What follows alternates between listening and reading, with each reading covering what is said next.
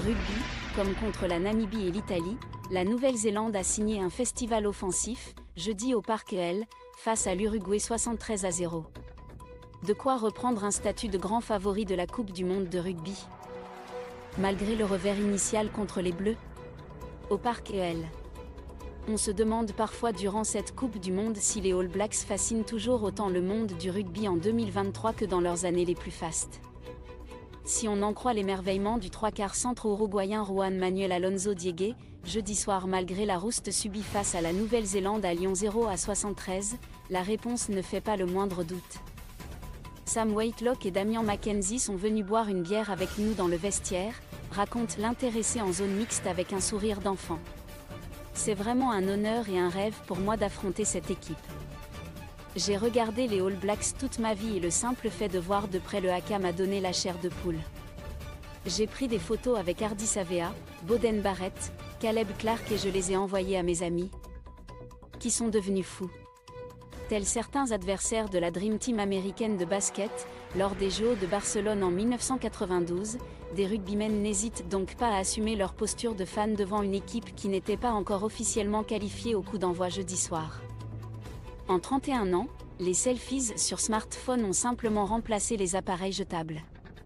Contesté après sa défaite historique juillet 2035 contre l'Afrique du Sud fin août, puis après son revers logique en ouverture de la Coupe du Monde face aux Bleus 13 à 27, cette sélection néo-zélandaise semblait destinée à rentrer dans le rang et à gentiment quitter le plateau des grandissimes favoris de la compétition la plus prestigieuse qui soit. Les All Blacks sont incroyables à regarder. Mais ces trois démonstrations dans la foulée, avec 73 points d'écart en moyenne contre la Namibie, l'Uruguay et surtout l'Italie, ont marqué les esprits, quoi qu'on pense de la qualité de l'opposition. On a clairement vu une différence par rapport à nos précédents matchs, note le capitaine sud-américain Andrés Vilasca. On vient de jouer contre la meilleure équipe du monde. L'expression est posée, les partenaires d'Aaron Smith, qui s'est tranquillement reposé hors du groupe des 23 jeudis tout comme Hardy Savea, sont-ils donc redevenus les grands favoris de ce mondial en France? On a pu poser la question à Juan Manuel Alonso Diegue, et les yeux de l'amour étaient encore de sortie de son côté, quand ils ont le ballon. Ils sont tout simplement la meilleure équipe du monde. Toutes les options, tous les coups de pied croisés, les coups de pied à suivre. C'est incroyable à regarder. On oublierait presque de préciser que l'Uruguay a résisté à la marée noire pendant 20 minutes, s'offrant même un essai refusé à Ardao à quelques centimètres près 0 à 0, 13e. À partir du premier essai de Damien Mackenzie 7 à 0, 20e, il faut reconnaître que l'artillerie lourde des All Blacks était inarrêtable. Façon théorie du ketchup de ce cher Cristiano Ronaldo. On a su être chirurgicaux et patients. L'Uruguay nous a donné du fil à retordre, note le capitaine des All Blacks Sam Kahn. Dans les 20 premières minutes, on a gardé notre sang-froid et on a su être patient pour ne pas laisser les erreurs nous faire douter. Non, le doute n'habite pas ces joueurs. Précieux mélange d'expérience Smith, la barrette connexion, Cannes, le nouveau recordman des caps chez les All Blacks Sam Whitelock et de polyvalence Mackenzie, Finga Anuku. Très fier de la réaction de son groupe depuis ce délicat 8 septembre, Yann Foster apprécie, je pense qu'on a bien rebondi après le premier match et qu'on en a tiré les leçons j'ai la sensation qu'on monte en puissance. Là, on a su être chirurgicaux et patients. Deux vertus qui ne seront pas de trop lorsque va se présenter en quart de finale l'Irlande ou l'Afrique du Sud.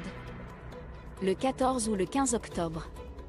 Ce qui est bien avec ce tirage au sort, c'est que peu importe si on finit premier ou deuxième de notre groupe en fonction du résultat de France-Italie ce vendredi.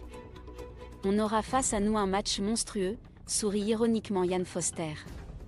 Damien Mackenzie, qui est loin d'avoir une place de titulaire garantie au vu de la concurrence, effectue la même projection collective, les derniers matchs ont été ouverts.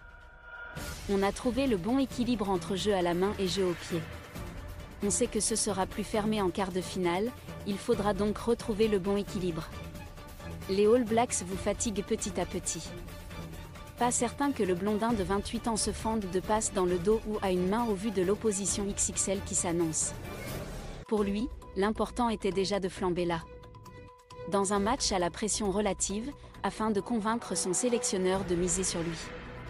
Il faut tout faire pour se montrer, précise l'arrière. La concurrence est saine à l'entraînement On se tire vers le haut. L'Uruguay a violemment fait les frais de cette montée en puissance, comme en témoigne son sélectionneur Esteban Menez. Les All Blacks vous fatiguent petit à petit. Et c'est comme ça qu'ils finissent par gagner, c'est bien la meilleure équipe du monde. On n'en veut pas à Esteban Menez, vu la tronche du match livré par un 15 de France remanié contre sa sélection 27 à 12. Il n'allait pas faire des Bleus les favoris pour décrocher leur première couronne mondiale.